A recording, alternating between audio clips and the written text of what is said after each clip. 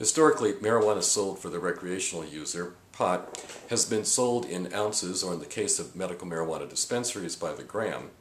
And uh, factors that influence the price include things like the look and feel, the uh, how it's trimmed and how big the bud is, etc., etc. We find in the end that, of course, some of these factors, the look and feel, the, the branding or whatnot, have little to do, a little correlation with the effectiveness, how much THC there is, or how much CBD there is, or the taste, or anything else.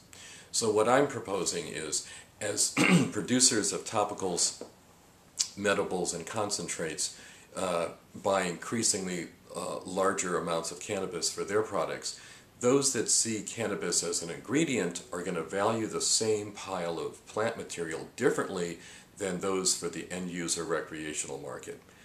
To help with this transition and to capture the salient variables that influence the price of marijuana as a bulk agricultural commodity, I've written a spreadsheet that attempts to uh, correlate uh, chemical analysis through uh, uh chromatography of the cannabinoid level, THC, CBD for example, against the price so that you can see as a bulk seller or buyer